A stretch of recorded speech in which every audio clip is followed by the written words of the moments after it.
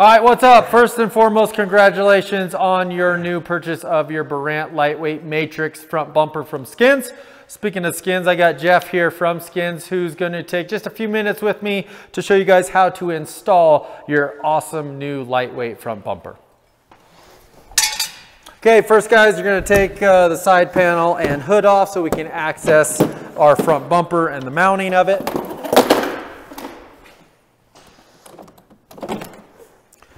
Cool.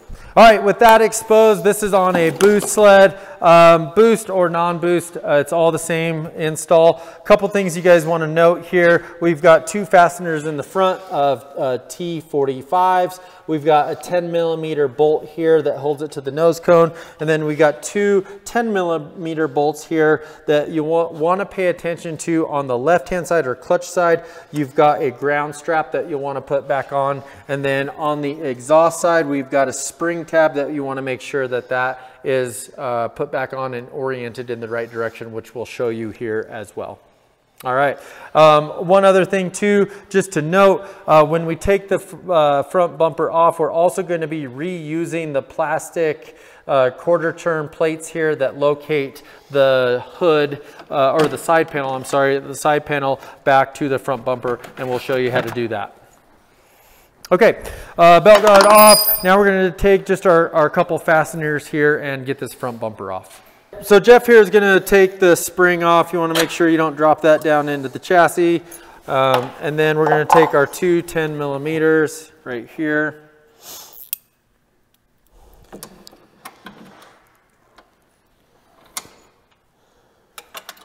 It's a little tight in there, especially on the boost sled, but you'll want to, um, kind of one of the things here, the key is to loosen up the actual nut side versus the bolt side because there's not a ton of the bolt head sticking out. So he broke the bolt loose on the, uh, on the pipe side um, versus, the, or I'm sorry, the nut side of the bolt versus the head side of the bolt.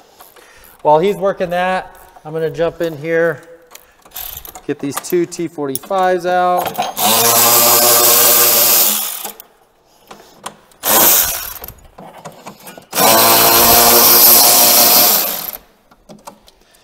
Okay, I'm also going to take the front uh, nose cone bolt out, which is a 10 millimeter on each side.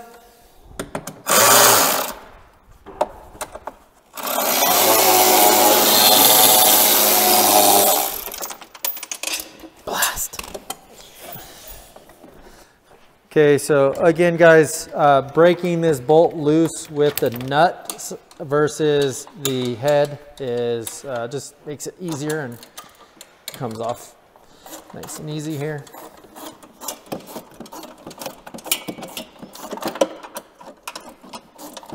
Okay, with this last nut, oh boy, last nut out here, yeah, I've got my ground strap there. Now the bumper will come out of here. And next guys, what we're gonna do is we're gonna grab a drill and uh, with a 3 16 drill bit and we're basically to be drilling just the head off of the, the rivets that hold the quarter turn plastic retainer.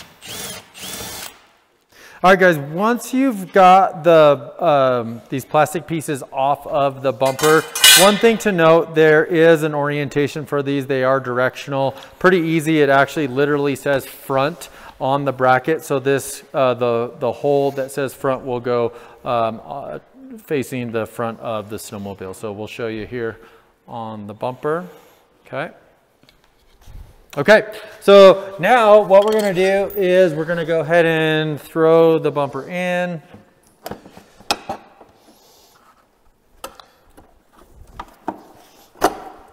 All right, on the exhaust side, especially on a Matrix Boost, uh, one thing that kind of helps is, so I basically put the, the nut that comes in the hardware kit, and th this is one note, um, the nut, the, the reason that we use the Skinz nut is because it is a thinner nut. The stock one is uh, thicker. And because the, the mount on the Skinz bumper is a little thicker, this thinner nut allows it, the bolt to get into the nylon. All right, so this is all a little tricky, but you basically, you get your bracket on there and then again, with me being able to have that nut in the wrench there, you can get that finger tight there. And then we'll note this just one more time. You have a ground strap on the exhaust side. The ground, it goes the bumper, the ground strap, and then the nut. So um, yeah, just a couple more steps here. Got the nose cone bolt. The, on the nose cone bolt, you will use the factory hardware.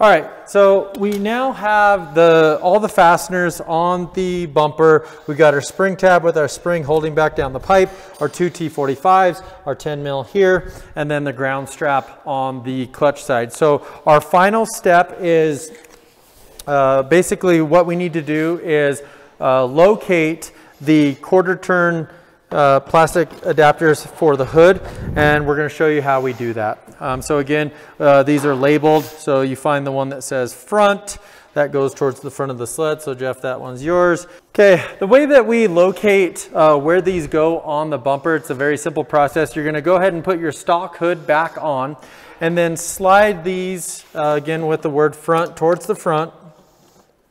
And you can see that locates this to the hood. And then what you can do is take, take a silver Sharpie or just a marker of some sort, and you can see this hole is now uh, right there. And so when you take that off, this will locate. Um, so now we're going to use a punch and we'll um, be able to start that hole. So here's my mark. I'm gonna take a center punch, then we'll drill this with a 3 16 We'll uh, drill and rivet this on, and then uh, that'll locate us for the front hole. All right, so now that we have that back hole uh, drilled, again, double check that you have front on the bracket going to the front.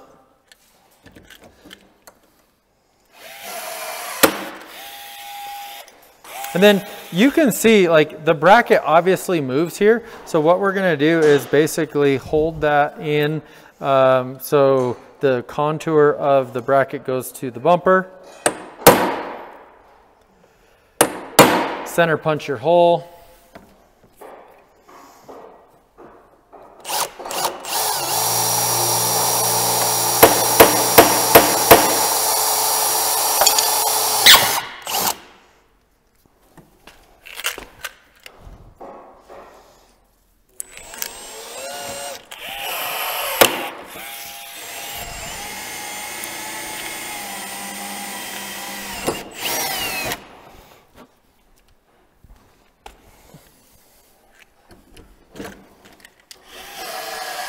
Uh, one final step here. We've got some metal shavings from uh, mounting our bumper mounts there. So I'll just use the vac here and suck those out.